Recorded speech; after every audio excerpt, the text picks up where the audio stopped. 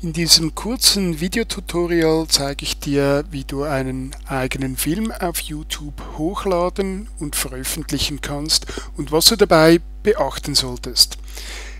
Pro Minute werden auf YouTube momentan etwa 500 Stunden Filmmaterial hochgeladen. Das meiste davon ist natürlich Schrott, und auch mein Beispiel ist also nicht gerade ein Highlight, aber es ist ja auch nur ein Beispiel, das ich anschließend wieder löschen werde. Ja, ich bin angemeldet. Du siehst es an meinem Profilbild da oben rechts. Das ist die Voraussetzung, um etwas auf YouTube laden zu können. Und ich tippe hier oben rechts auf Hochladen und kann sogleich meinen Film, den ich auf dem Schreibtisch abgelegt habe, in diesen Upload-Bereich hineinziehen und sogleich wird der Film hochgeladen. Ich kann da den Titel noch ergänzen, eine Beschreibung machen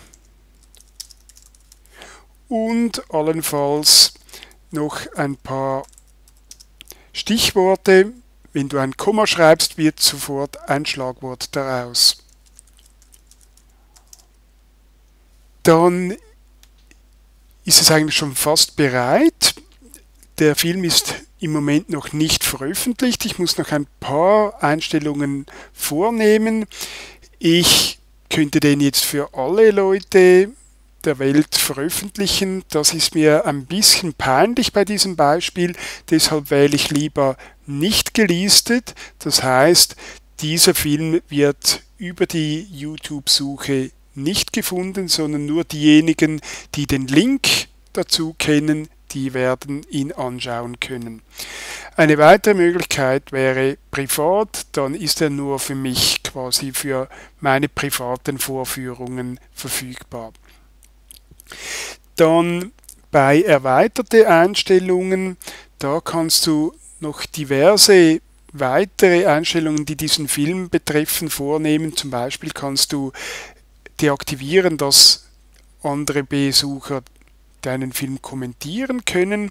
Für mich ist wichtig, und das mache ich meist, dass dieser Film auch weiterverwendet werden darf. Deshalb wähle ich hier normalerweise die Creative Commons Lizenz.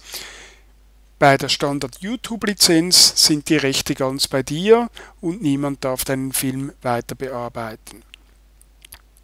Du könntest die Sprache noch auswählen, damit jemand, der nach deutschsprachigen Filmen sucht, auch hier fündig würde. Die Kategorie macht natürlich Sinn, Bildung in diesem Fall. Das meiste ist eigentlich selbsterklärend, da kannst du dich selber einmal ein bisschen informieren.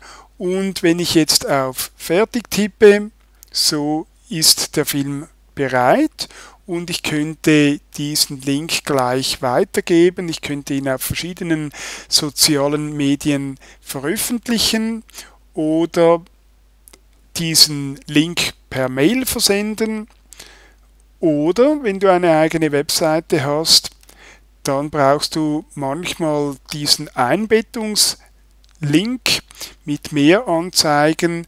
Kannst du hier noch die Größe anpassen ich brauche für meinen Blog eine spezielle Größe, nämlich eine Breite von 540 Pixeln. Ähm, die Höhe wird ja automatisch berechnet.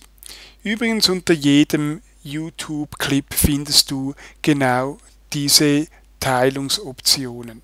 Diesen Code, den kopiere ich nun und mein Blog ist schon bereit. Ein neuer Beitrag ist eröffnet und wenn ich da auf die Code-Funktion gehe, wo ich eben normalerweise HTML-Code reinschreibe, kann ich diesen Code wieder einsetzen und wenn ich auf die Vorschau gehe, siehst du, ist dieser Film bereits in meinem Blog eingebettet. Um dir Ärger durch diese Veröffentlichung zu ersparen, musst du unbedingt darauf achten, dass du die Urheberrechte nicht verletzt, dass du also beispielsweise die Rechte für die Verwendung des Soundtracks hast. Ebenso musst du unbedingt die Einwilligung aller dargestellten Personen in deinem Film einholen.